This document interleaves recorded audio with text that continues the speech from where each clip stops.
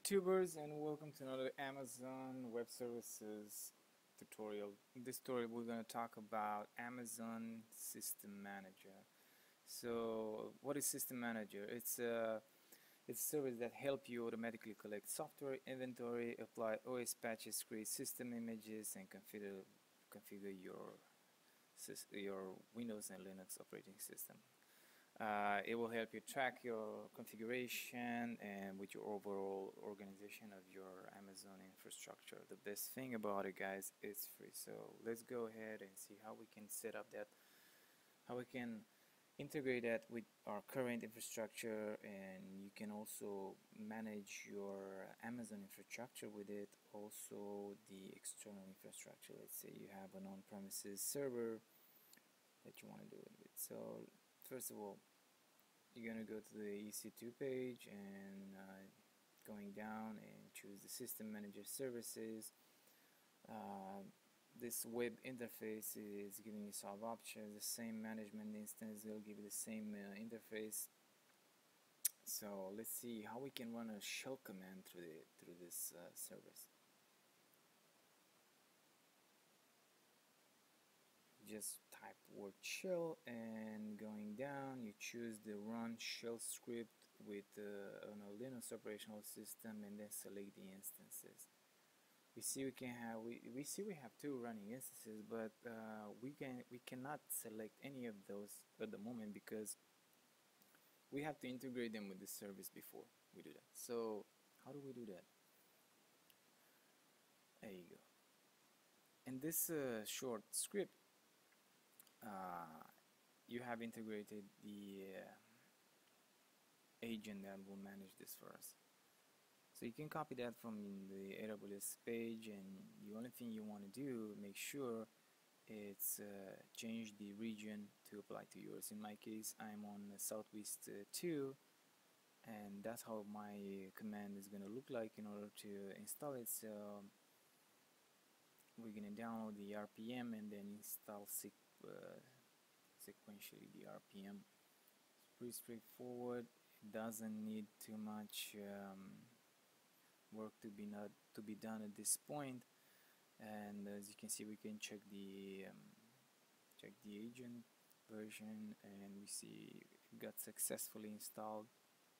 Now we need to set up the set up the the agent.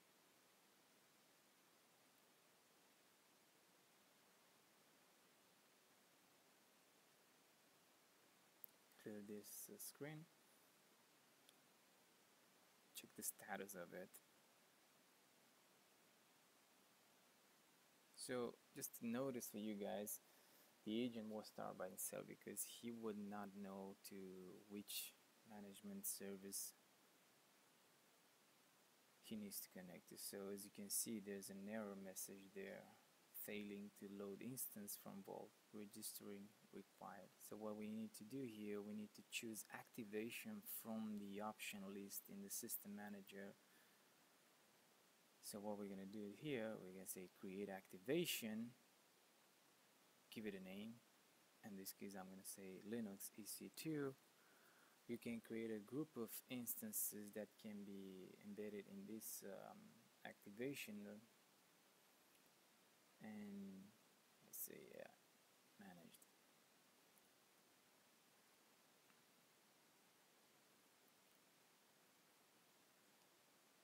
we're gonna take 10 instances this is just for testing and use a role that was created by default. This role can be embedded with uh, an instance at the start time or create time. You have to give it an uh, activation expiry date uh, maximum 30 days. So as you can see here if we put uh, more than this he's gonna cry or must be in the future and could not be more than 30 days into the future so what that means is that you create an activation and this activation will, will expire within that period if it's not being used. So there you go. You receive your keys here activation keys. Make sure you copy those because we're gonna use them next in this uh, create uh, management activation using those keys. So the command is using the agent installation that we did. It's Amazon SSM agent register pasting the code the ID of the activation ID and the region in which you are operating your machines. Just copy that command. I'll paste in the command in the video uh, description. So then uh, it says that this instance was already registered which I did it uh, before uh, we don't mind registering it again. And if we check the um, next thing what you want to do after we register we want to start the agent. Now let's check the status of the agent and see if it's working. And there you go we get a green light light.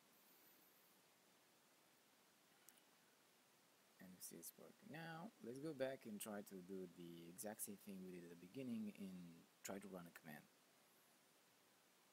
So look again for the shell command because this is just for testing purposes. There are a bunch of options there that are very useful. So as you can see we already have a target instance. And the instance ID gets a different ID than our, our original instance because right now it's a managed instance. It's no longer um, an EC2 instance if you look at it as an instance it's a managed instance so let's try now to run a command and say we create a file called test.txt and we're gonna write something into it. Alright, that sounds fair.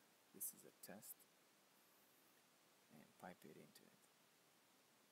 This, if we're right, should be happen in the operational system without us logging in.